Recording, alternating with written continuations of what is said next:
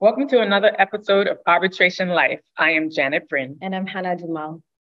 Istanbul Arbitration Week is happening from October 10th to the 14th, and we are so excited to be a supporting organization for the second year.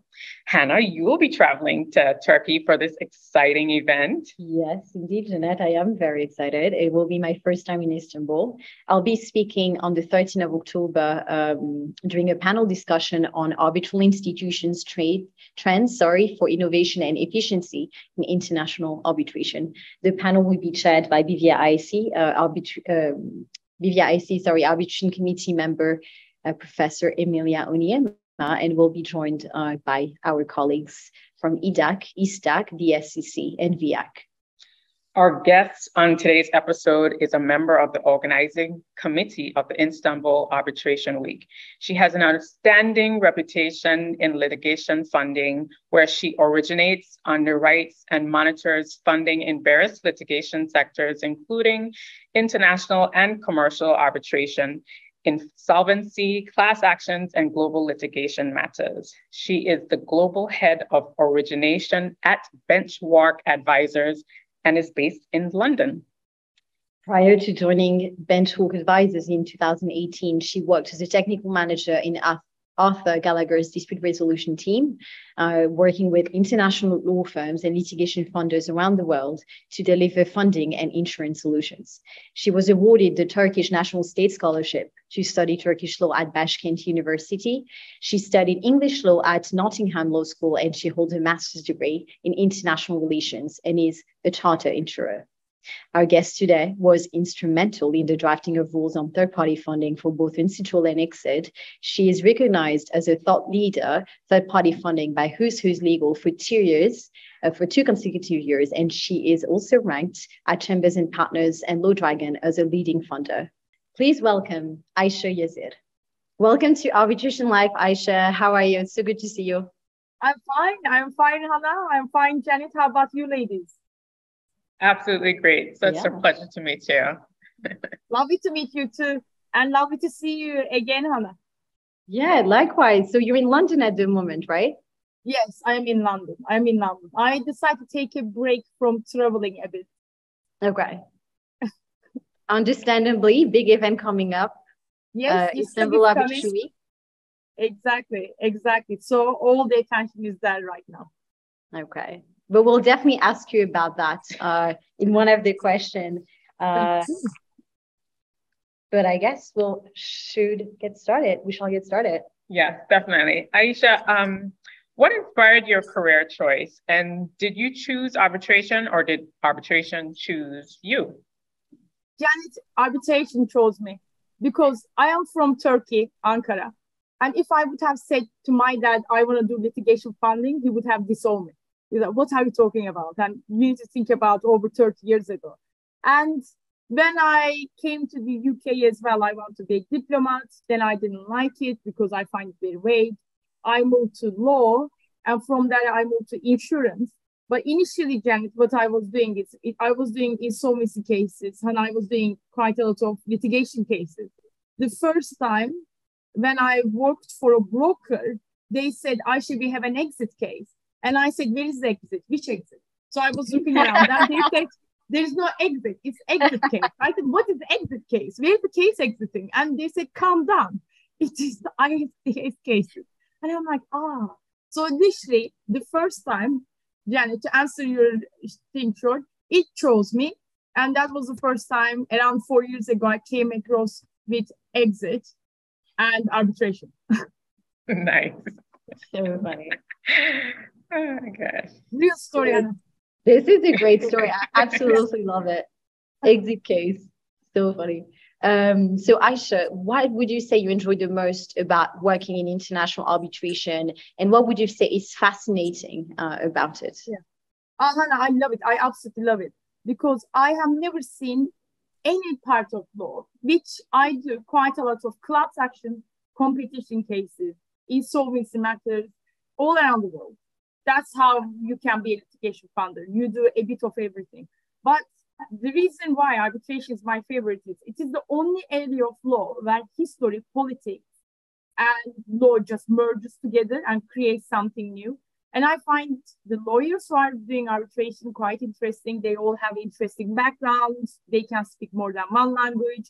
And then you watch the news, and whatever happens in politics, it affects what you are doing. There might be war starting. So what happens is the cases against that country stops, new cases come. There might be regime changes, economical impacts.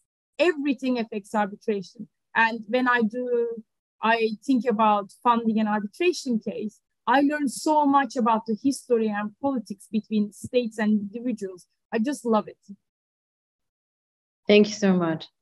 Yeah. You're a member of the Istanbul, did I say that right? Yeah. Arbitration yes. Week. I'm, I'm working on my, my Turkish and stuff. Um, so you're a member of the committee. Um, can you tell us about your role and the next conference and what will be taking place on 10 to the 14th of October of 2022? Yes, Janette. Janette, you will be missing out, but Hana will be having lots of fun in Istanbul. So we are we are organizing something really fun, interesting, and educational. My role, I am one of eight people in the board, and we all do a bit of everything. So it was me who came with ISTAW name because the initial one was Turkey Arbitration Week, and I said to my committee, guys, look, Paris Arbitration Week, London Disputes Week. So when you think about, or Tel Aviv Arbitration Week, when you think about all these events, you need to figure, figure out the main city that you want to introduce to world. So Istanbul started like that. We decided to get a logo, Janette, which is two bridges because Istanbul is the only city in the world that east and west meets together. So you are in Europe, you can see Asia. It is wonderful. So we put the bridge there. And yeah, and it just started like that. And we just thought it would be great to bring everyone to one of the most beautiful cities in the world. It's historic capital for three big empires, Roman Empire, Byzantine Empire, Ottoman Empire. But at the same time, there is so much potential in Turkey, Janette. If you meet Turkish new generation and the generations who are there, and Hana, you know Elif and some other people as well, they are incredibly bright. They speak more than one language, very open-minded people. And today I was talking to a um, American lawyer for lunch, and he said, "Isn't it very weird that wherever I go, in Turkey there are more women in the power of top law firms or construction companies than any other country, and we have, I think, kind of misunderstanding around the world. I want to bring everyone and show them uh, what Istanbul is and introduce world to Istanbul. Sounds very exciting. Yeah. Thank you. And yeah. with the plan 10 to 14, I was keeping it to last. I don't I, I don't want you to be, be heartbroken, but you can come next year, Janette. Okay. So 10th will start with a big uh, party in one of the Ottoman palaces. And it has historic reference as well because on that Ottoman palace, one of the reasons why Ottoman Empire get into war is the ships from Germany went into Russia and they start bombarding and everyone saw on that palace what was happening. So it's a very beautiful old Ottoman palace. And then we have three days of conferences, lots of different areas, lots of people coming all around the world. We are expecting over 300 people who will attend. Um, we have arbitral woman breakfast. We have a boat tour. The boat will come in front of the palace. We'll have 100 people for three hours, just taking around Bosphorus, bringing everyone back. And the last day, we closed a museum, which is one of the historic museums overlooking Istanbul again. And we are going to have our closing party there. Absolutely wonderful. I, I love that you're not only having an opportunity to learn more about arbitration, but you're actually having an opportunity to learn about the country and its history. Yes. Yeah, exactly. so that's just great. Great, yeah. great. I'm so much looking forward to coming to Istanbul. That will be my first time. So very, very excited. Uh, you are going to love it, Hana. We can even go clothes shopping. It's so cheap in Turkey. very much looking forward to it. So now, Ayse, you've been instrumental in the drafting of rules on third-party funding for both institutional and exit. Uh, yeah. Exit? Exit? Exit? exit? Which exit? How important is the role of third party funding in arbitration at the moment? And do you see it getting more and more important in the future? How do you think it's going to develop? I mean, Hana, that's a very good question because when I first started doing funding, which is like quite a while ago, I'm not going to give so you can figure out my age. So I the only cases we look into were normal litigation cases in the in the UK. Now I am getting probably two or three arbitration applications a week here, and it is quite substantial amount. So we are seeing more and more cases, but the clients that we are seeing is not you know the Exxon Mobiles or the Shells. We start to see quite a lot of cases with the people who doesn't have any money. So we always say David and Goliath, the companies lost everything. They want to sue a state or a company because of a fault of another company is bringing commercial arbitration case. I think litigation funding is here. It will get more and more used. And there are some rules now by exit and asset trial. Uh, it's not affecting us at all uh, because it's talking about disclosure. We are all in for it. It's talking about conflicts. It should be checked. It's very important.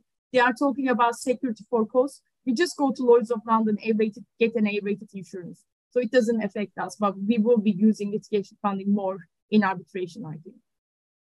Absolutely. And we have the same in our rules. We also have disclosure of third party funding in the BVI rules. Yes. Uh, I remember we spoke about this one day, but we did. Yes, yeah. we did. No, that's true. I have, I think it is important. And it actually, for me, sorry, I became quite nerdy because when people say litigation funding, I find it very difficult to stop myself. But when you think about um, how important litigation funding is bringing the case and also settling the case, because if you're a defendant and there's a litigation funder behind the case, that means that the case must have good merits, right? Because we review the case, we take the full risk of losing everything. So it kind of strengthens the client's case when it comes forward. Absolutely. No, it's it's very important, and uh, uh, it, it's good to see more and more conferences. We had one uh, last year uh, during uh, BVI Arbitration Week. We obviously during our event on energy disputes in Paris Arbitration spoke about this when you were uh, a yes. speaker. Uh, our yes. event yeah with EDAC. Uh, so yeah, it's very, it's very exciting to see how it's going to develop, yeah. and and also I think in the Caribbean in our region. Okay. Uh, I guess we'll see more of those cases. I know and we would love to fund that. I told you, Anna. so, Ayse, um, how would you say your role as third-party funder complements your role as an arbitrator? That's a very, very good question. I think what we see as a litigation funder is we see the both sides. We see the good lawyers, bad lawyers, and how the decisions have been given. So if you are working in a claimant law firm, only just one side, and you can't see the defendant side, I think we're a bit limited. But my role in working in funding, dealing with the matters, reviewing the cases, analyzing, and coming to a conclusion goes very well with the role of an arbitrator. Because as an arbitrator, you need to listen both sides' stories and come to a conclusion. And that kind of, I think that kind of thinking gave me an edge to kind of fill out the most important points of a case, think about them, and decide something. Hmm. Interesting. And now, Ayse, uh, what would you say uh, are the difficulties that you have experienced in your career? Oh, I might need to write a novel about this. I I find it very difficult to find a job to start with because I came from Turkey, very, very, Janette, very unusual background to quite a lot of people who are applying for a role here. I had no legal experience from any jurisdiction. So I was applying for training contracts and they were saying, well, you need a work experience. Then I was applying for work experience. They were saying, we can't give you any work experience because you don't have work experience. So it was, it turned into a chicken and egg. And yeah. I, I had quite a few friends who finished university, even lower grades than I did. They got the training contract, interviews. Um, but for me, it was a really big hassle. And I had to sit there and think, how am I going to achieve that? What will make me different? And it wasn't just 10 applications. I had to do probably 70, 80 training contract applications to get only 10 interviews and finally get one place. So I find it incredibly difficult to get a place when I first started. Interesting. Um, well, you certainly, certainly overcame that. Absolutely. and I've, I remember we spoke about this with one uh, in in one of our last interviews of how getting started it's so difficult and mm. yeah. how many applications you have to do or internships and and it's it's funny because me it was exactly the same. I remember sending for my first associate position 80 uh, CVs and cover letters, Yes, 80 exactly. applications. Yeah. Ex- Hana, exactly. And the thing is, I had to be creative. So no one was kind of giving me a job, you know, internship or anything. So I find the immigration law firm in London, and I I said to them, I will do anything, and they were paying me forty pounds a, a week, forty pounds a week, and I was sitting there doing indefinite leave to remain applications day in day out to get the experience. I think the one of the most important things for young young people to have seen you need to get whatever there is in front of you to get into a place. Uh, you did eight applications on it. And I have lots of juniors coming to office and they say, oh, we did 10 applications, such a shame. I said, what is 10 applications? You need to do hundreds now. Yeah. And then just get the right one because you only Yes. need one. Right, right. So Ayse, can you can you share with us an experience that has been most impactful in your career? Well, Janette, I think moving here was the thing that really changed my life. Um, I was at Burford for seven years. I worked at Gallagher's for a year and a half. And I was being reached out by other litigation funders because I was working with every litigation funder globally. I am also a chartered insurer. I know how Lloyd's work and I can create insurance products. Um, then I got a really good job offer, really good salary. It was amazing sign up bonus. Then Adrian Chopin, who's our managing director, reached out to me and he said, I just set up something new. Would you like to come and join us? And they were offering me the half of the salary the other place offered. No sign up bonus, but everything I had was just coming to something new and be a part of it. And it was really important for me to be a risk taker because it was a huge risk. If the company was going down, I was going down with the company. But I think it again showed me it's how important to take risk and sometimes grab an opportunity when it comes. Because if I would have said no to this company and work to work with another litigation funder, I don't think I would be that well known. I don't think I would my you know my experience would have gone quite substantially high because we are only 10 people and I work with two decision makers and I learn quite a lot from them. How do they think? And you can work in different parts of the business and it is easier to prove yourself to world because there are not 160 people in front of you. That is great. Wow. Yeah. Taking the risk. Hmm. Taking the risk. So That's the inspiring. tip I give to everyone. Take a risk because there is always one opportunity in front of you. And Yeah. if you miss that opportunity, that's it. Yeah. So that's a great advice. And to follow up on that, what advice would you give to your younger self? And what advice do you have for students and long, year, long year lawyers, sorry, uh, who want to work in arbitration?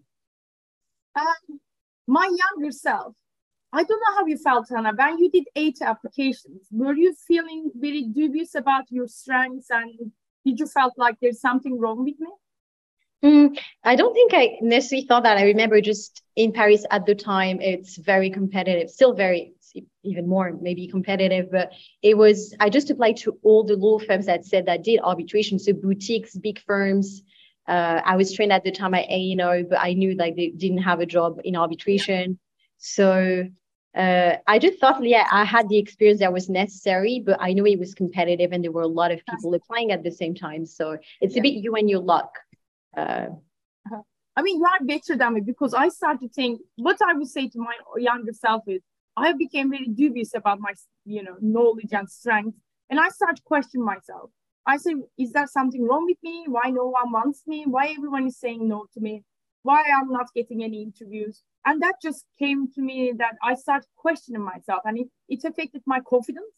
So when I went to an interview, I was shaking, thinking, oh my God, it's a big privilege to be here. How did I manage to do that? I'm actually not good enough. Um, I probably, if I go back and speak to my younger self, I will say be more resilient. I think the most important thing in life is resilience. Lots of people give up, quit. They say, okay, that's it. There's something wrong with me. But power comes to play when you become more resilient. And then you start to understand what are your strengths, what are your weaknesses, and you learn from your mistakes. So I would have said to my younger self, be more resilient, look what you did wrong, and how you are going to change yourself. I think those are very important points that you should always keep in your mind. Certainly agree with that. Yeah. Great, great advice. Uh, and another advice to make it in arbitration? I mean, oh, that's yeah. part of it, taking risks, being resilient. Yes, be resilient. And also, um, I will say, you know, sometimes people think, oh, success just comes. No, you need to work really hard for it. And when I see from newer generation, I will sound so old, but oh well, never mind. but they quite a few new students wants everything to happen. It's like this should happen. They should work in a job. Don't be too entitled. In my job, I am doing in Turkey say mashallah well um, because I am working incredibly hard. For instance, I went to New York. I attended every single day six to seven meetings. I took 5 a.m. train to Washington. I had six meetings, took 6 p.m. train back to New York, and I had seven meetings again. You need to work incredibly hard. I need to diversify yourself. If you want to be an arbitra- arbitration lawyer, you need to learn languages. You need to do extracurricular activities. You need to make yourself visible. And you need to try to find a way. This job will not going to come to you. You need to put yourself out there to get it. Very true. Very true. Thank you so much, Ayse. No worries, ladies.